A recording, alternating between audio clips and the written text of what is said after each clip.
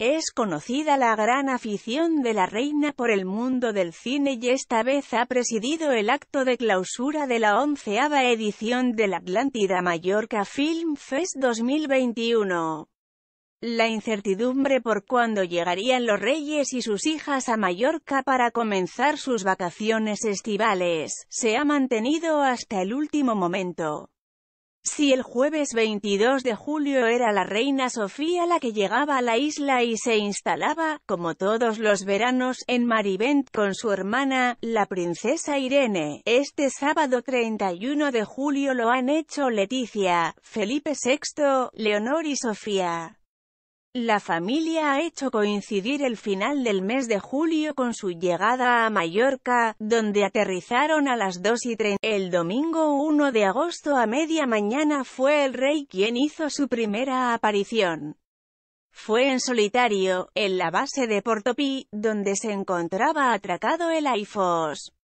al que se subió para una primera toma de contacto antes de la esperada regata de la Copa del Rey Mafre de Vela, que comenzará el lunes 2 de agosto y se prolongará hasta el día 7. Por su parte, Leticia apenas ha podido disfrutar de unas horas de tranquilidad, porque este domingo ya ha protagonizado el que ha sido su primer acto oficial en Mallorca, el cual ha coincidido con su primera aparición pública en la isla.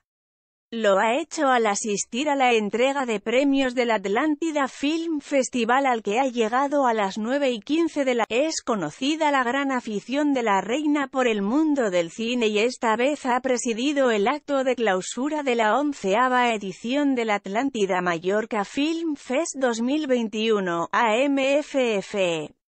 De hecho, no es la primera vez que Leticia adquiere un papel protagonista en el mismo, dedicado al cine europeo.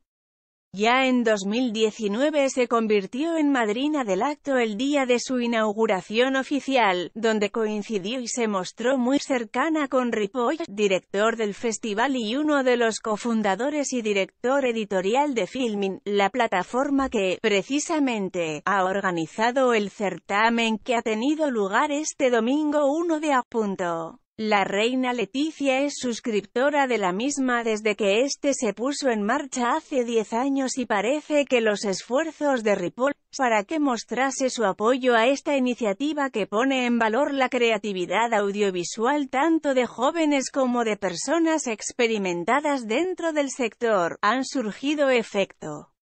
Al acto han asistido también el ministro de Cultura y Deporte, Miquel Iceta, la presidenta del Govern, Francina Armengol, el presidente del Parlament, Vicente Tomás, el alcalde de Palma, José Hila, la presidenta del Consejo de Mallorca, Catalina Cladera, y el director adjunto de la Filmoteca Española, Carlos Revilla.